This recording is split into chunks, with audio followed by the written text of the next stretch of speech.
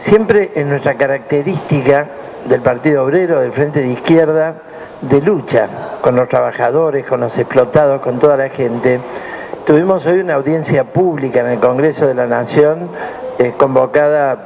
por Romina del Pla y otros diputados de, la izquierda, con todo el movimiento piquetero, el polo obrero y todo lo demás, porque se van a cumplir el 26, 17 años del crimen de Costeca y Santillán. Y luego tuvimos un acto masivo con miles de compañeros en la puerta del Congreso. Fui el primer orador para que pudiera venir después corriendo para acá. Igual este, he llegado un poquito tarde. Pero es, así lo nuestro, es un ejemplo vivo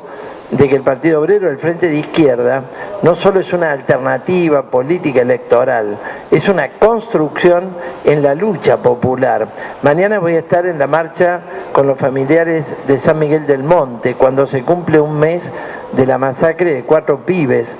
este, por esta mafia policial de la bonaerense, un caso más de gatillo fácil, que requiere lucha para desmantelar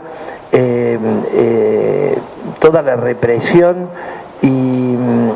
la característica corrupta de las fuerzas represivas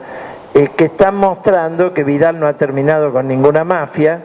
que están mostrando la política de gatillo fácil, eran cinco inocentes, felizmente ha sobrevivido una. Vamos a acompañar a los familiares hasta el final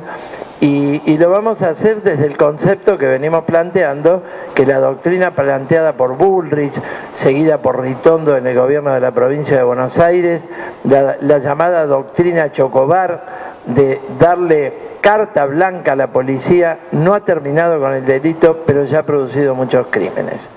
Dicho esto, eh, estoy muy contento de estar en Salto, eh, a comenzar eh, una gira que ya ha empezado desde luego en otras localidades, mañana San Miguel del Monte, pasado La Plata, el lunes estoy en Bahía Blanca. Esto va a ser muy intenso para un frente de izquierda que se ha potenciado,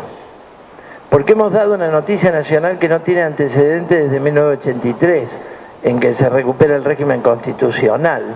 que es que llevamos eh, el más grande frente de unidad de toda la izquierda se ha incorporado a las listas del Frente de la Izquierda y los Trabajadores el MST, con lo cual el 95% de la izquierda está agrupada en el Frente, y esto es un hecho político trascendente, porque mm, no ha sido un amontonamiento, sino un resultado de la personalidad, el programa y la trayectoria que desde el 2011 ha creado el Frente de Izquierda en la Argentina, colocando un programa independiente, eh, de, los, de las fuerzas tradicionales que, han gobernado para la banca acreedora, que han gobernado eh, para el establishment, que han gobernado para los grupos económicos, en los distintos gobiernos, porque el Frente de Izquierda nace luchando bajo el kirchnerismo. Y hoy tenemos toda una centroizquierda que va de furgón de cola de la fórmula Fernández Fernández. El Frente de Izquierda, al contrario, agrupa más fuerzas de luchadores del movimiento de la mujer, de la juventud, de la clase obrera que lucha contra la burocracia sindical en el frente de izquierda, sobre sus bases estratégicas. ¿no? Entonces, mientras todos eh, han producido novedades a la derecha, el frente de izquierda ha producido una novedad a la izquierda.